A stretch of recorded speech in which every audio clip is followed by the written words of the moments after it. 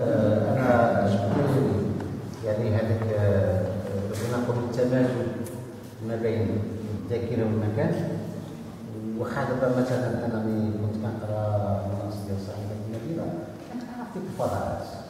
ولكن كنت كنجول في الفضاءات من خلال المخيله الذاكرة سي محمد ياسين هذا هو الأجمل في الادب أنت كتعرف العلاش ولكن يجي واحد كاتب أو واحد شاعر ولا شي حاجة يوصف لك بالكونات ديالو بحال كتدخلوا في المخيله ديالو والروح ديالو الإبداعية كتشوفها من منظور آخر.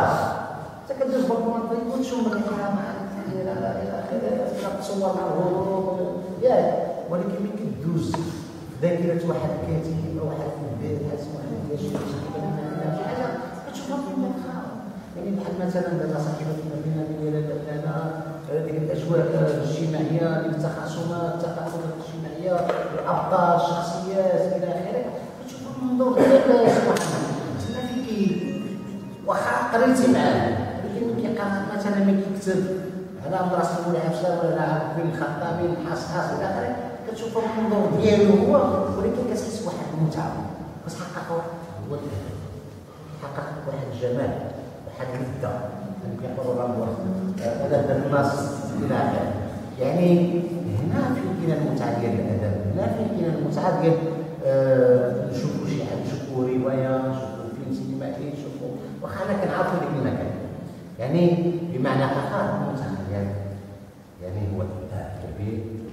محمد رشد رسول كما رأينا المجموعة تمشي لذلك فأنا أتمنى أن تقتلوا هذا العنوان الجميل وأتمنى أيضا أن تعترفوا به وأن تقرأوه.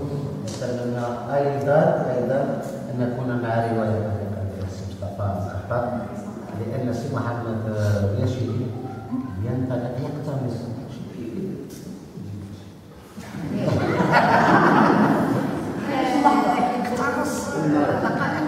وبلغه مسكوكه هذا هو الجميل لغة مسكوكه يعني كيحتى يعني أنا شخصيا رغم